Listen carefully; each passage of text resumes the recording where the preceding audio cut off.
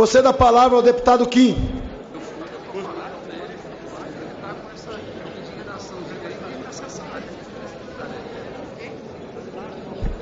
Senhor presidente, senhores deputados, senhores senadores, subo essa tribuna hoje alegre em dizer que foi feito o um acordo no orçamento para que não haja o aumento no fundo eleitoral. Deputado Domingos Neto prontamente atendeu, respeitando o diálogo, respeitando as lideranças da casa, respeitando a situação fiscal do país, a não haver nenhum tipo de aumento do fundo eleitoral, nem do fundo partidário.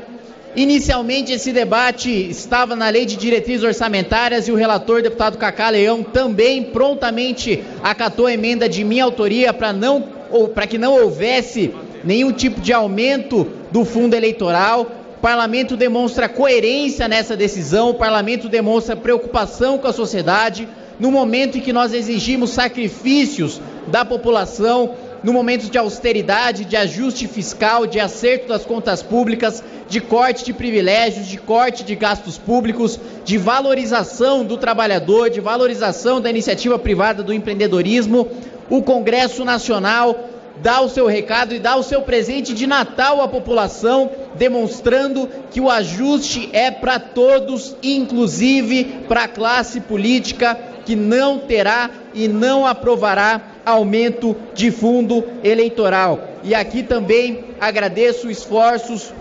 do deputado Marcel Van Hatten, representando o Partido Novo, do deputado Daniel Coelho, representando Cidadania, do Podemos também, na figura do líder do Senado, Álvaro Dias, todos eles protagonistas dessa luta para barrar o aumento do fundo eleitoral e o parlamento foi sensível à demanda da sociedade nessa vitória que considero seja do país, não de nenhum partido político, não de nenhum deputado, sensivelmente de acordo com a lei de diretrizes orçamentárias. Deputado Cacaleão